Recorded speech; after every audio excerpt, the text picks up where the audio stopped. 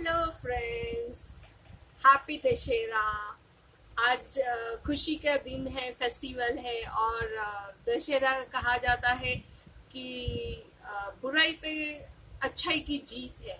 तो इसी खुशी के मौके पर मैंने सोचा, क्यों ना मैं एक सक्सेस की, छोटी सी लाइफ की खुशी की टिप दूँ आप लोगों को। जैसा कि आप जानते हैं कि हमारे शास्त्रों में भी, हमारे पितरों को बहुत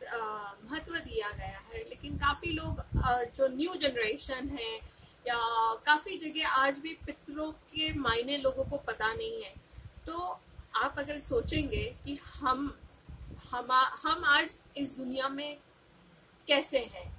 हम अपने मम्मी पापा से हैं, लेकिन हमारे मम्मी पापा और उनके मम्मी पापा, अगर इन सब श्रृंखलाओं को आप जोड़ेंगे तो ये सोचे कि हमारे पितरों ने, हमारे पूर्वजों ने क्या कर्म किए क्या हमारे लिए उपास किए या क्या ऐसी चीज़ें की जिसकी वजह से आज हम यहाँ तक है? मतलब कितनी जनरेशन चलती आ रही है। आ, देखा जाएगा तो सालों हज़ारों सालों पहले डायनासोर थे और वो लुप्त हो गए और कितनी सारी चीज़ें लुप्त हो गई लेकिन आज हम फिर भी हैं मानव स्वरूप में हैं।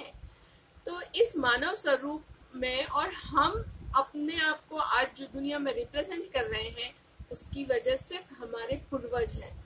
सो so, पूर्वजों को कुछ नहीं चाहिए होता है। वो वैसे भी हमसे नाराज़ नहीं होते हैं। वो हमेशा हमें प्यार करते हैं।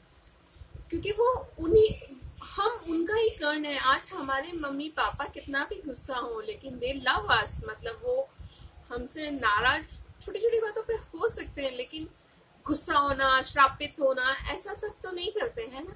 वैसे ही हमारे पूर्वज है, लेकिन उसके लिए हमें बहुत ज़रूरी है कि हर काम की शुरुआत करने से पहले हम उन्हें ध्यान करें, हर फेस्टिवल पे उन्हें भी याद करें।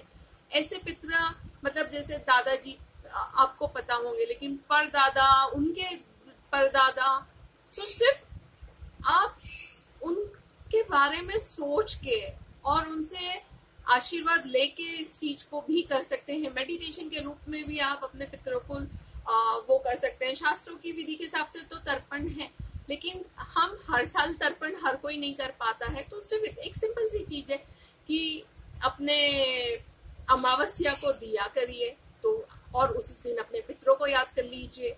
या आज जैसे दशहरा है तो फेस्टिवल के दिन पे कुछ नहीं, उठिए, हाथ जोड़िए और अपने पितरों को कर लीजिए कि आपकी वजह से आज हम इस दुनिया में हैं। सो थैंक यू और इसी श्रृंखला की एक कड़ी बहुत इंपॉर्टेंट है जो हम लोग मिस करते जा रहे हैं स्पेशली काफ़ी न्यू जनरेशन मिस करती जा रही है जो अपने माँ बाप को बोझ समझकर उन्हें वृद्धाश्रम में छोड़ देती है या उन्हें ऐसे ही मरने को छोड़ देती है।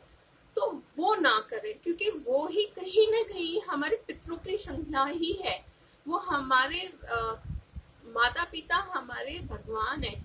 आप मंदिर में जाके भगवान से पूजा कर रहे हैं, अर्चना कर रहे हैं, और आप एक तरफ़ अपने ही माता पिता को तड़पा रहे हैं, परेशान कर रहे हैं, उनका ख्याल नहीं रख रहे हैं, और आपको अपनी ये भक्ति दौड़ती ज़िंदगी में अपने ही माँ बाप आपको बोझ लगने लग जाते हैं। तो ये एक चीज़ ध्यान रखिए, ये आप अपने बच्चों के लिए पतन का रास्ता खोल रहे हैं। तो इस शुभ अवसर पर इस खुशी के दिन पर आप सभी से गुजारिश है कि अपने माता पिता की सेवा करिए और साथ ही अपने पितरों को ज़रूर याद करिए। जहाँ भी आपके पितरों मतलब जैसे पितरों का स्थान है आ, मंदिर के स्वरूप में या जहाँ आपके दादा पर दादा रहे हो जो भी जगह पर वहाँ पर जाके एक बार ज़िंदगी में ज़रूर उन्हें नमन करके आइए और हर बार खुशी के मौके पे उन्हें ज़रूर याद करिए। बस इतना सा करने से ज़िंदगी में खुशी के चार चाँद लग सकते हैं। और ये मैं बातें खाली कहने के लिए नहीं कर रही हूँ। ये चीज़ें मैंने एक्सपीरियंस की है। सो मैं अपना एक्सपीरियंस शेयर कर रही हूँ और मैं चाहती हूँ कि आप भी इन एक्सपीरियंस को अजमा के ज़रूर देखिए। एक कोशिश करिएगा। हो सकता है शायद आपकी ज़िंदगी में भी बदलाव आ जाए। सो so, पितरों को याद करने में हर्ज क्या है? उन्हीं की वजह से तो आज हम यहाँ पर हैं। सो so, दोस्तों उम्मीद है आपको मेरी ये बात समझ आएगी और आप उस पर अमल करेंगे। So see you then bye bye